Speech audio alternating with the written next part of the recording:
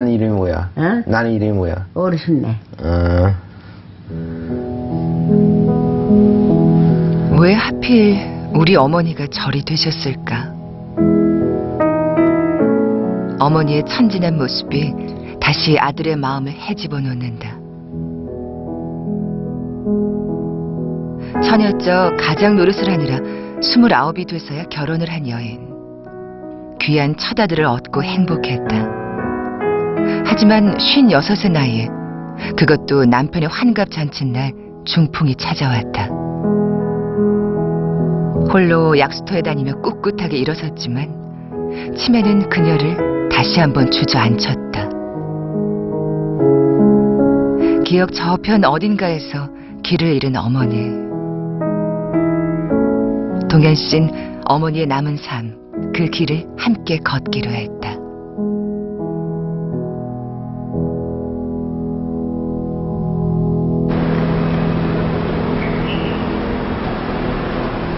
엄마와 아들의 집에 새날이 찾아왔다. 자, 일찍부터 나설 채비를 하는 모자. 자, 신발 신어. 동현 씨는 신발 신는 것만은 어머니 몫으로 남겨둔다. 그래. 치매 판정을 받은 이후 정신이 맑은 날이면 어머니는 먼저 신발을 신고 문 앞에까지 나가서 아들 나오기만을 기다리셨다.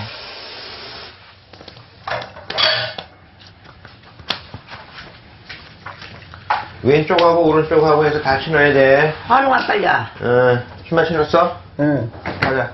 내려와. 어, 내려와 이 양문 왜 이래? 응.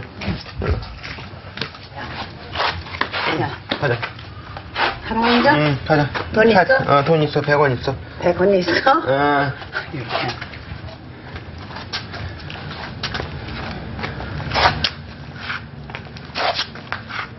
내가 누군지 아세요? 누구세요? 어? 누구세요? 우리 아들. 우리 아들이요. 모든 기억을 다 앗아가도 그 이름만은 보내줄 수 없다는 듯이 우리 아들을 되뇌이시는 어머니. 잠깐만. 아무 때나. 그런 어머니를 떼어놓을 수 없어서 야. 아들은 일터에도 함께 출근을 한다. 자, 그렇게 하고 있어. 많이 기다리셨어요?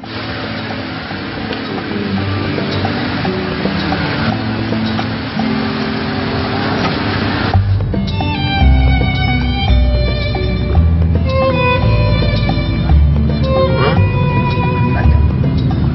똥 냄새가 조금 나는 거 보니까 똥을 조금 싼 모양 같다. 그래. 여기 그래?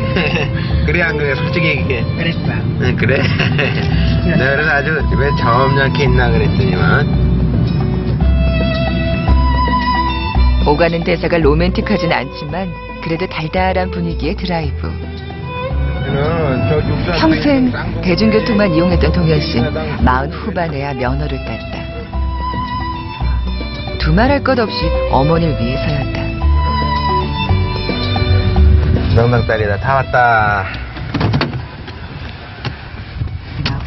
여기 잠깐만 앉아 있을래? 그렇지 어, 사무실 가서 잠깐 일 좀 하려고 그래 알아 어, 여기 앉아, 개- 앉아 있어 그런데 기껏 어머니를 모시고 와서는 혼자 가버리는 동현 씨.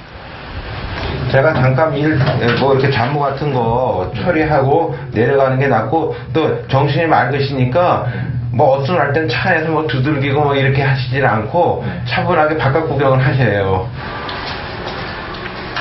10년 전 얻은 작은 오피스텔에서 동현 씨는 홀로 회사를 꾸려간다. 그나마 한 명 있던 직원도 어머니를 모시면서 내보내야 했다.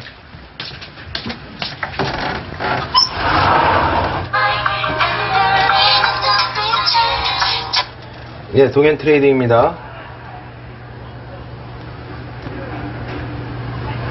아, 이메일로, 아, 자, 부품 말씀하세요, 네. 영문학을 전공한 동현 씨는 전자부품을 수입해 팔고 있다. 그 몇 개요? 무역업이다 보니 전엔 해외 출장도 바삐 다녔었는데 네. 꼼짝없이 발이 묶인 지금은